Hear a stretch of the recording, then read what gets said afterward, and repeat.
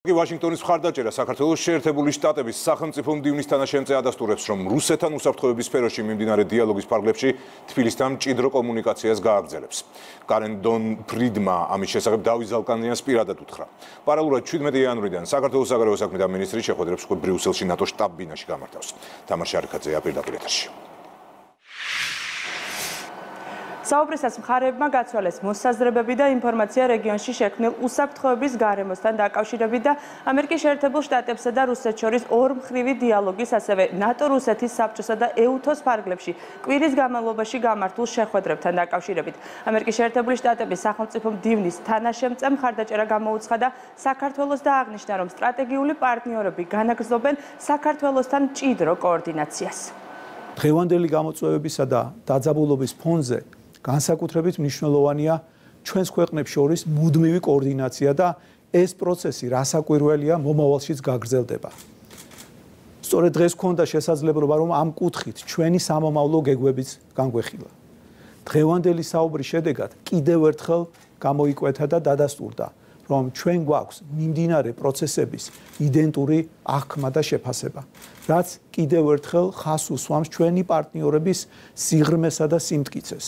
ჩვენი პოზიცია ურყევია, როგორც საქართველოსთვის, ასევე ჩვენი პარტნიორებისთვის სრულიად მიუღებელია რუსეთის მცდელობები ძალის მუქარითა და აგრესიული რიტორიკით მოახდინოს ევროპის გადანაწილება და საკუთარი გავლენის სფეროების ლეგიტიმაცია.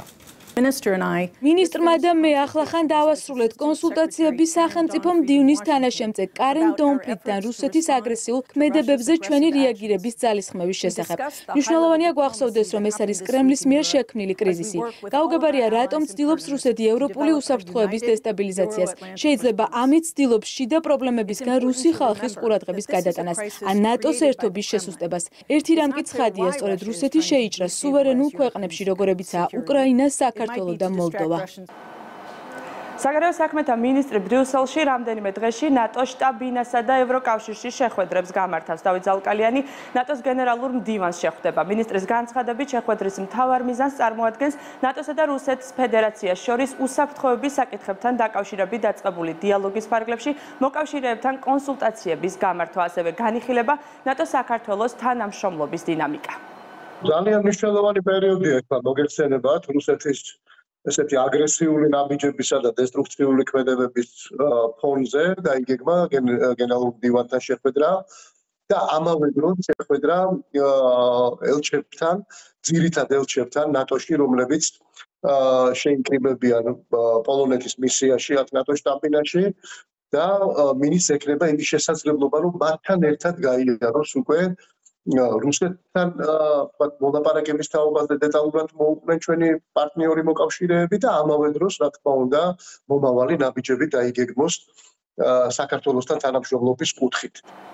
17 და 18 იანვარ ჩანიშნული შეხვედრების ფარგლებში დავით ზალკალიანი ნატოს გენერალურ მდივანთან შეხვედრის გარდა არაფორმალურად ნატოს წევრი ქვეყნების ელჩებსაც შეხვდება.